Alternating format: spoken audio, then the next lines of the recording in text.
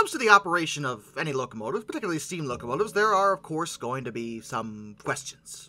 And one of these questions, sometimes, on occasion, that we see is what, um, what are those? Now, seriously, what are those? Why are they there? Those, those bits of metal that are just up and out next to the front of the locomotive. Is that just for style? Is that some kind of art? And no. Uh, some consider them stylish. It depends who you ask. But they do have a purpose. Those are smoke deflectors. So named because they well, I was about to say deflect smoke. In the, in the technical sense, I guess they do, but not in the way you'd think. Because you see them, and you hear that they're called smoke deflectors, and you're probably like, well, how do they do that? They're not even where the smoke comes out. They're, they're, they're down. Well, of course, they have their own little history. Not a very long one, but one that's worth talking about, because they are seen on a handful of heritage locomotives, especially ones outside of America. A few American locomotives did have them. Most obvious example is probably Union Pacific 844, but foreign locomotives especially, like Germany and in the UK, had them quite a lot. In the UK, they're sometimes called blinkers, because they look like blinkers that were used on horses, so an appropriate name. In America, we called them elephant ears, because well, yeah, you can see why we thought that. But regardless of what you call them, they're simply vertical metal plates that are attached to each side of a locomotive smoke box for the purpose of deflecting smoke away from the rest of the train, whether it be the cab on the locomotive, more immediately, or just from flowing back towards the passengers. On the South Australian railways, they're sometimes called valances, as they use them too.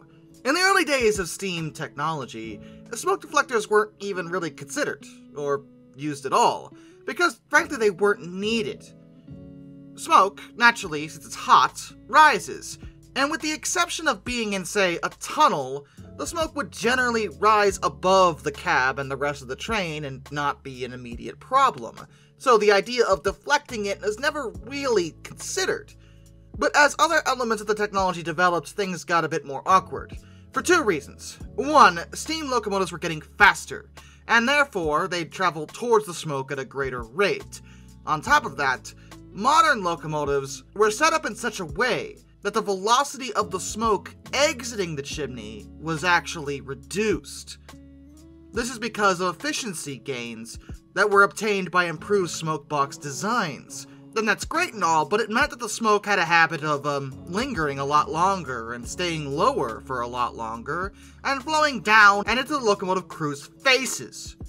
And you know, there's only so much you can pay a person before they're like, hey, guys, guys, guys, I love my job. Also, I can't breathe. So a solution had to be come up with, and uh, the simplest one turned out to be the best. Simply put, they just stuck two pieces of metal in the front of the locomotive and called it a day. That may sound lazy when I say it like that, but the thing is, it worked. There are multiple different styles of smoke deflectors, though they all pretty much do the exact same thing. And many of them are pretty much a variation of one of two primary designs, known as Windleitbleche which means wind deflecting plates in German, assuming I said that right, which I probably didn't, and I'm sure my German following will be like, Excuse me, you mispronounced one of our words again, and I'll say, Yes, of course I did. I don't know what you expected me to do.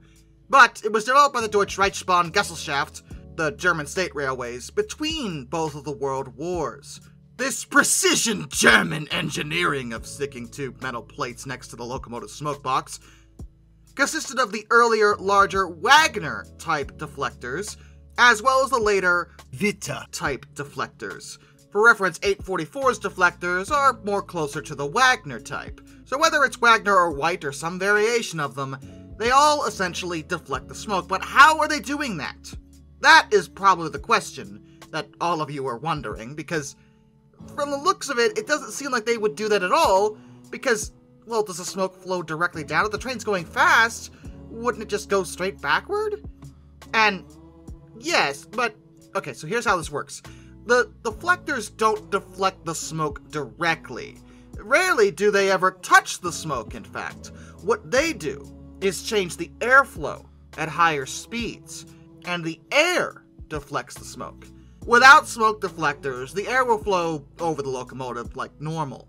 And this means that, especially at higher speeds and with more modern locomotives, the smoke will likely flow back and into people's faces and they will not appreciate it. But with the deflectors, what'll happen is the airflow will be shifted up and effectively blow the smoke in that direction, forcing it vertically and not in people's faces.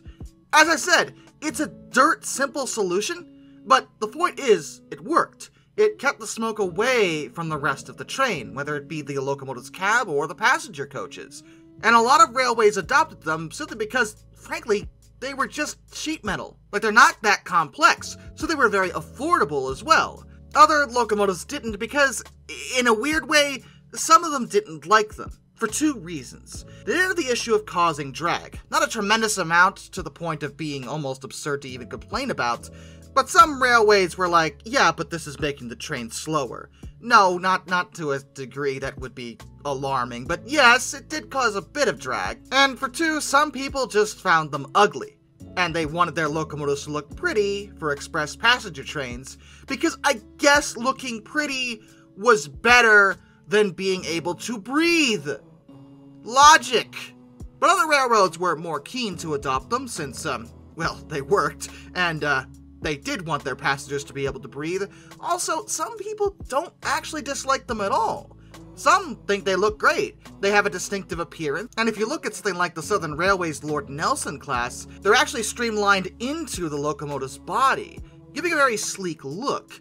There are also other cases of locomotives that generally didn't go fast enough to warrant them, but in any case, when they needed them, and the railroads were willing, they were tremendously useful.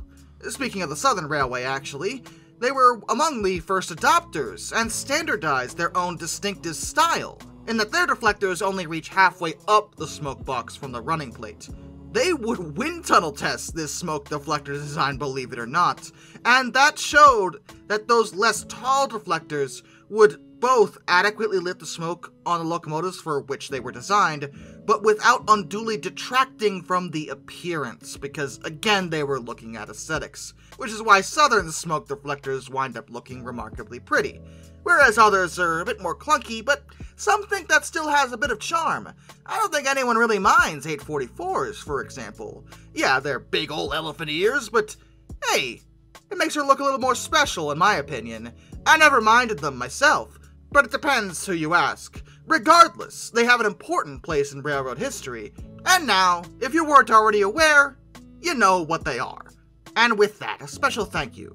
To all my underwater train finders, some dude 267, Orange Glass, Benjamin Owens, Anzac A1, Arthur Roy, Jack Carson's Railroad Videos, Lord Off 444, Iserfer 1405, Charles Kwiatkowski, Matt Weaver, Tom Redlion, NS Productions 8104, Wheeljack 8401 rescues Greyhounds, The Baxter, Caleb Crosswhite, Andrew Bowen, Josh Johnson, Caleb Rainwaters, Perez Drenton, Master of None, Travis Dolinsky, Jared Brussel, JBL Explorers, Tommy Rossini, Ben McCullough, Panzer Kitson 131-232, Mark Holding, G Wiz, Mr. Terevel, Hayden DeGrow, Metal for Life Guy, No, Kurt Forkum, Ohio Trucker 1, Mr. Sleepy, DM Travel Typhoon, Harry, True Debris, George Kenny, Kevin Wood, Liam Wright, Morris Hillman Productions, NJ 1969, Hendrick Motorsports Fan 5, Hannah Bird, Western Colorado History,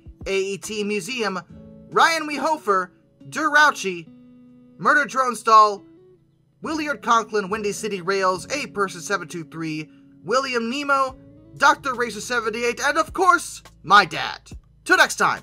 This is Darkness and a Fun! Farewell.